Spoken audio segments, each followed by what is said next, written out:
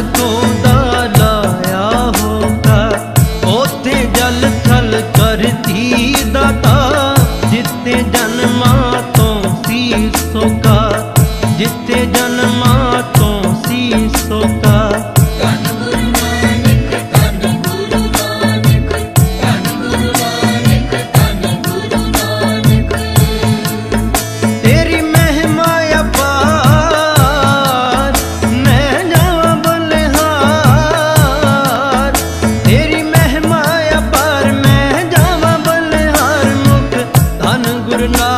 கொண்டு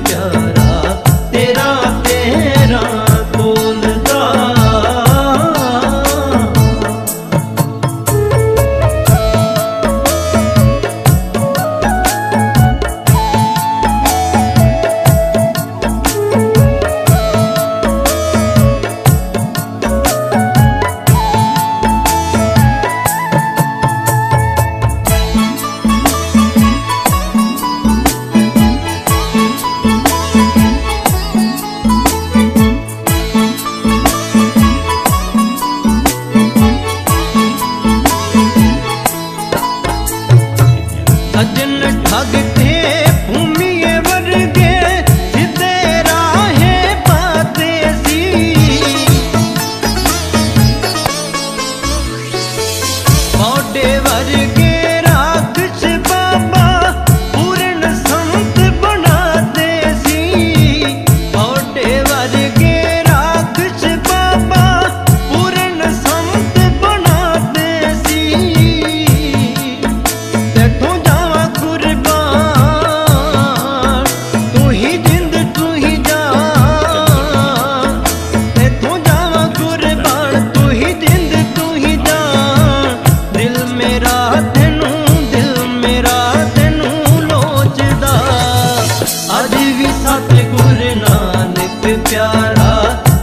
amante.